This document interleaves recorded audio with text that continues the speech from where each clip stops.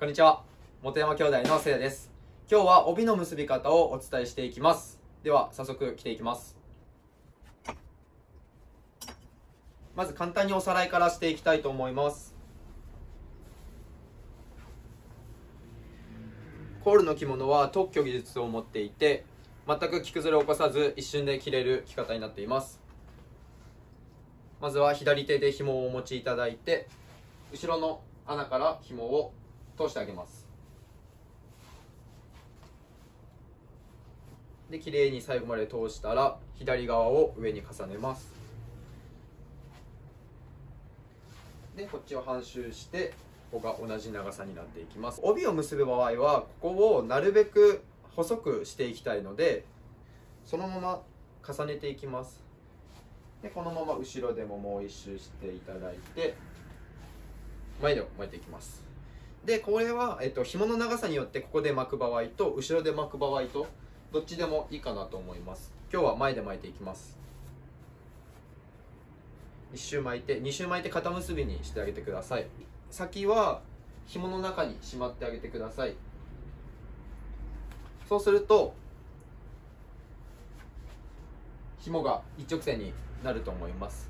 でここで紐で結んでいるのでここが全く着崩れなくていくら動いても崩れてきません。では帯を巻いていきます。帯では最初一番端の方を縦に半分に折っていきます。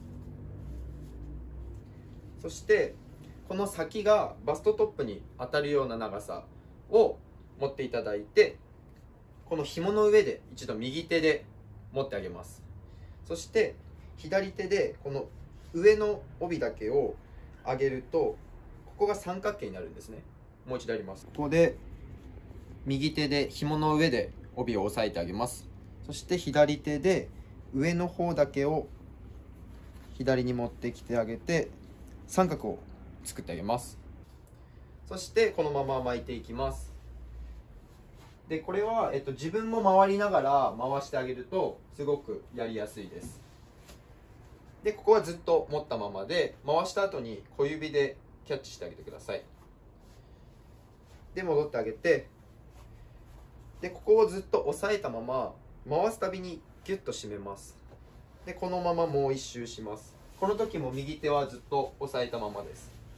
でもう一周してあげたらまたキャッチします。でまたここでもう一周してきたのでもう一度ギュッと締めます。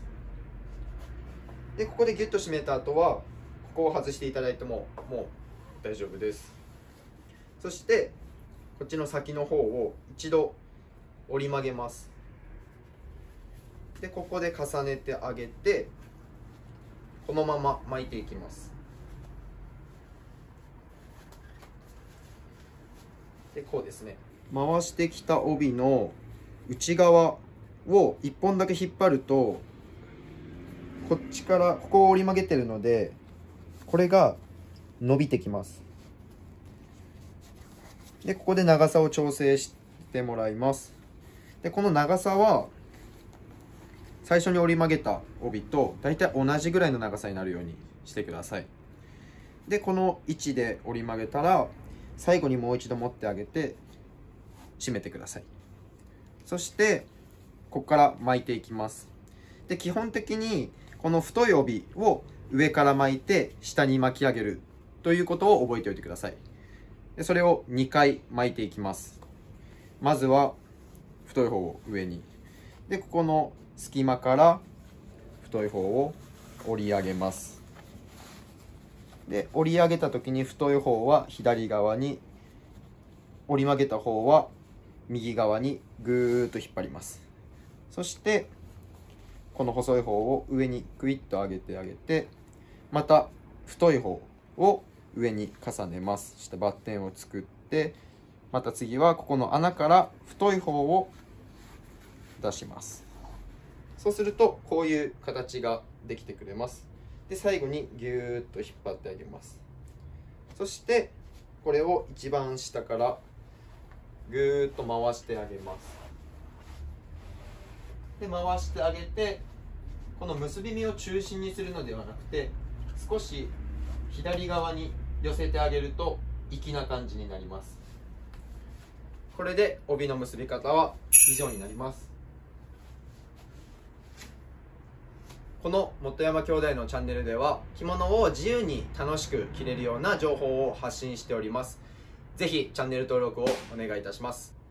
次の動画でまたお会いしましょう。ではまた。